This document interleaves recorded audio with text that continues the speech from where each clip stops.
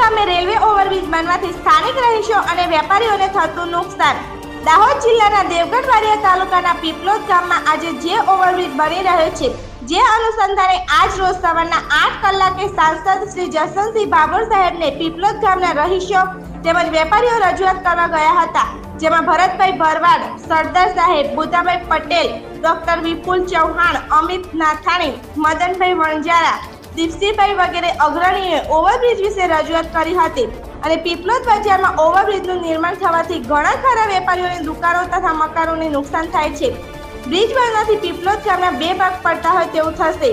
વેપાર ધંધામાં ખૂબ મોટું નુકસાન થાય તેમ છે. બંને બાજુ માધ્યમિક અને પ્રાથમિક શાળાઓ આવેલી છે. બાળકોને પણ અવર જવામાં તકલીફ ઊભી થાય તેમ છે. જેથી આ બ્રિજને બજારમાંથી કેન્સલ કરી અન્ય જગ્યાએ બનાવવામાં આવે અથવા અંડરગ્રાઉન્ડ બ્રિજ બનાવવામાં આવે તેવી સાંસદ શ્રી ભાભોર સાહેબને રજૂઆત કરી હતી. જેથી સાંસદ શ્રી નાઓએ સત્વરે રતલામ મંડળના ડીઆરએમ સહિતના ઉચ્ચ અધિકારીઓને ટેલિફોનિક સંપર્ક કરી. બુધવારના રોજ દસ કલાકે સ્થળ પર હાજર રહેવા તથા રેલવે બ્રિજ વિશે સમીક્ષા કરવા સૂચન આપી હતી.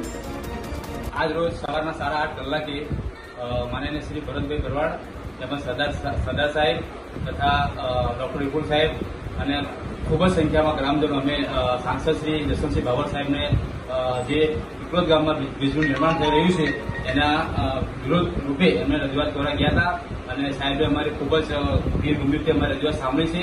અને ડીઆરએમ સહિતના ઉચ્ચ કક્ષાના અધિકારીઓને ટેલિફોનિક જાણ કરી અને બુધવારે સાડા દસ કલાકે સ્થળ પર રૂબરૂ હાજર થવા એમને જાણ કરી છે.